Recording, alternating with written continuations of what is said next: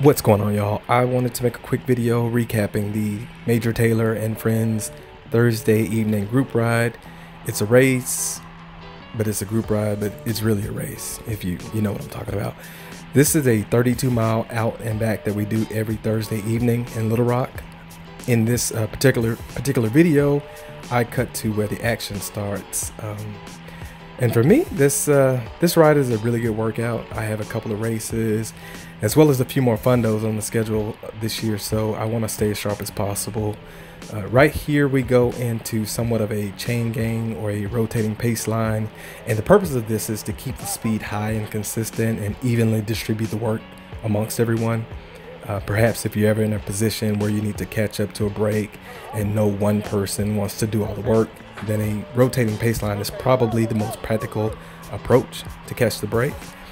It does take practice to get it right. It's definitely harder when the group is out of sync. Uh, some people don't know when to pull through, and um, while others are accelerating too fast on the other side, causing you know the people behind them to have to accelerate, and, and it gets pretty wonky. But if, if it's done correctly, the chain should be smooth and consistent. Um, but uh, I will say that don't blow yourself up. The name of the game is survival. It is okay to skip a turn or sit off the back, pretend like you're hurting, whatever it takes uh, to not get yourself dropped. Especially in a group that you know, just just sit off the back, if possible, if the uh, rotating pace line isn't working for you.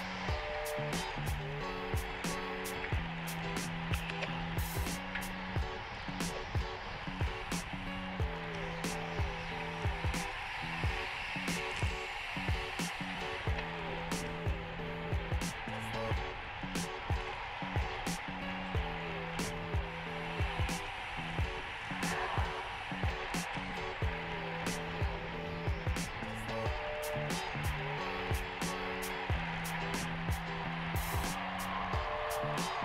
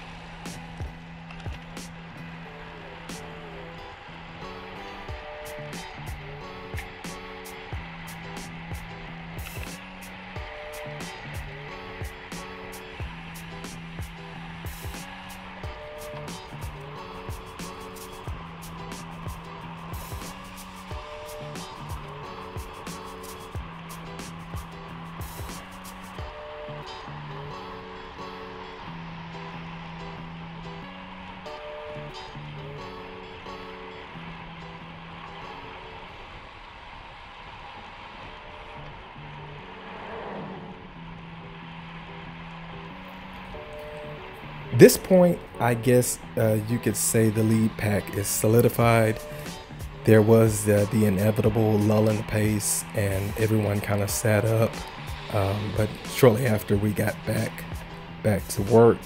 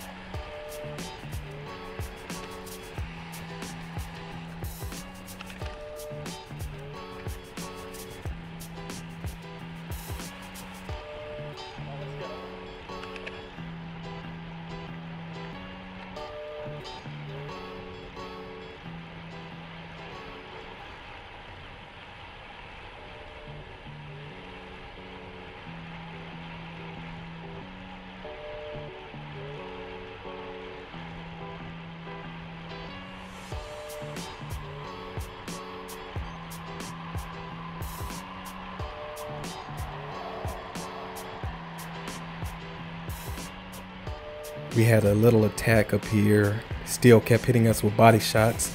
I didn't want to close this, this one down, not by myself at least, so I waited to see who would come around me. And then there was another little surge, and then I decided to let others do the work. So I, I hop out the pace, the uh, line right here. And um, for the most part, I'm just trying to be as, as conservative as possible and save some in the tank.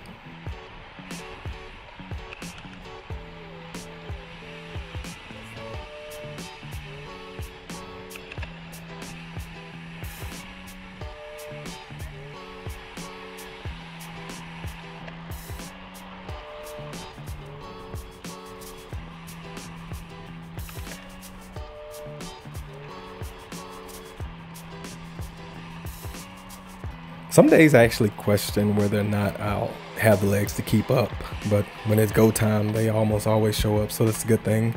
Um, but but that's why it's good to ride with people stronger than you. You need that push if you want to get better, and in most cases, it just comes down to riding smart and, ju- and just holding on a little while longer, and uh, you'll you'll find that it's not as bad as it's not as hard as you you think.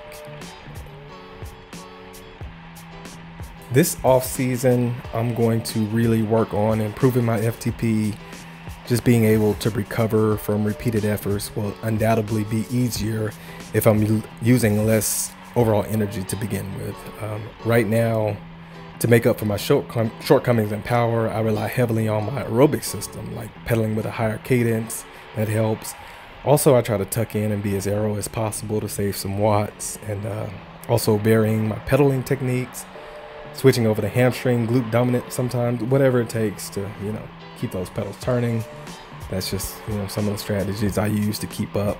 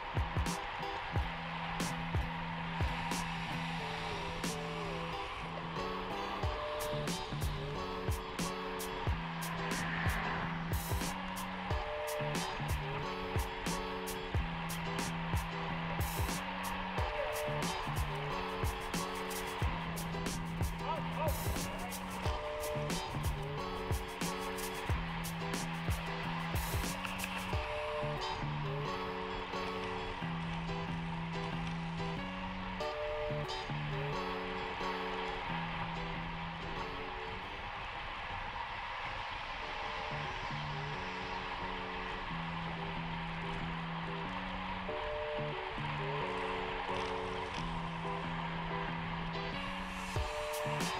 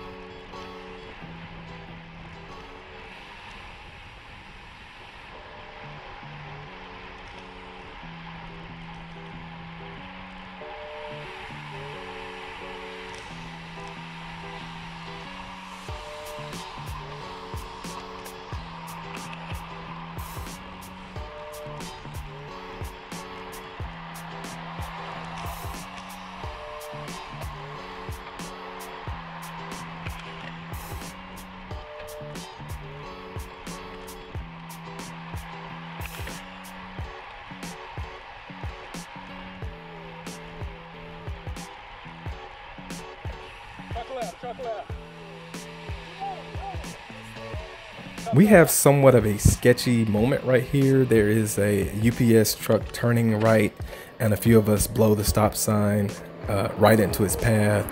I'm not sure what was up with that. I do know that sometimes when you're tired and on the rivet, you do uncharacteristic things, and mistakes on the bike can be catastrophic. But uh, given the experience of the riders, I don't think that was the case here. But uh, I saw that truck. I knew it was going to turn right because that UPS hub is on that street. But anyway, the truck let us go. We went our way, and uh, it's all good. No one got, got hurt, but it's just something we need to be careful of, you know, when we're out here at this pace. So after that little sketchy section, um, nobody, I guess nobody, nobody's getting away. So we just kind of settled in to a nice little uh, temp tempo pace.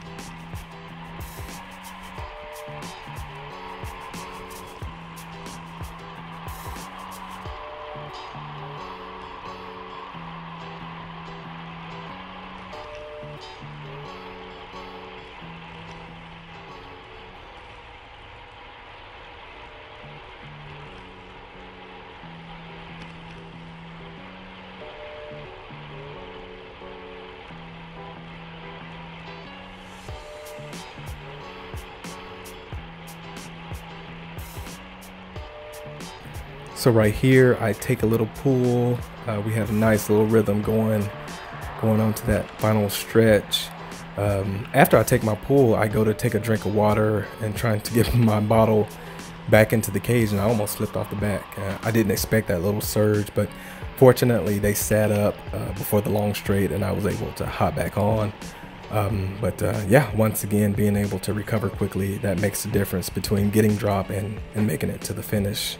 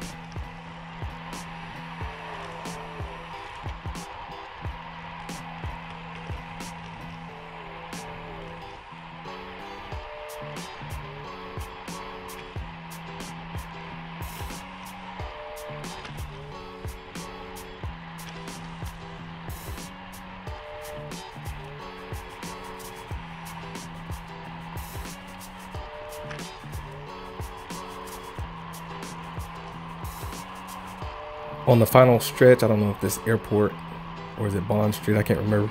On this final stretch um, is basically a game of musical chairs. You don't want to get caught pulling when the attack comes. You know the attack is coming.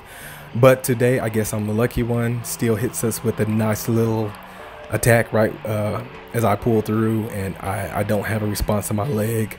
We still have about a half a mile on this road, so a full out sprint to catch back onto that bunch. It didn't make sense for me. Uh, I would definitely run out of gas for sure. Uh, and um, I noticed Jeff didn't go with them, so he's still on my wheel at this point. So I decided to kind of sacrifice myself a little bit uh, to try to keep him on terms with the, the break up the road. But he was good. He was good. Um, by the time he pulled through, though, I was uh, pretty much toast and uh, I had uh, 10 miles to go to get back to my car, so I couldn't completely empty the tank on this ride. At least that's the excuse I'm going with for now. But all in all, y'all, it was another fun day on the bike. Uh, if you ever in the area, come see us on Thursday night.